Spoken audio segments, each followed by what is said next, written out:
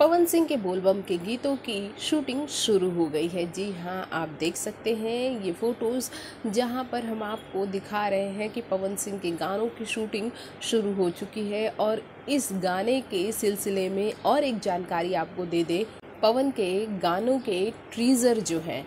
जी हाँ ट्रीज़र जो है वो मंडे को रिलीज़ हो जाएँगे। जैसे ही सावन लगेगा, उसी दिन पहला ट्रीज़र रिलीज़ होगा। साथ ही आप देख सकते हैं वीडियो डायरेक्टर रवि पंडित पवन सिंह को स्टेप बता रहे हैं। जी हाँ ये स्टेप पवन के आने वाले बोलबम के गीतों का है, जिसका इंतज़ार भाई पवन के फैंस बेसब्री से कर रहे हैं।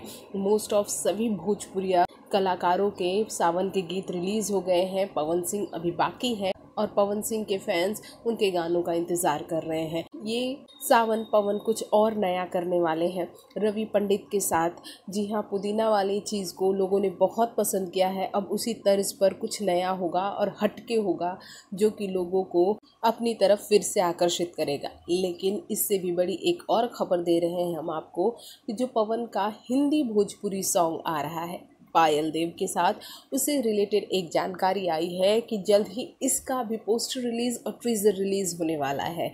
जी हाँ हो सकता है कि टिप्स म्यूज़िक पर पहला गाना आए। तो आप कितने एक्साइटेड हैं? हमारे कमेंट बॉक्स में कमेंट कीजिए। साथ ही चैनल को सब्सक्राइब करना बिल्कुल ना भूलिए।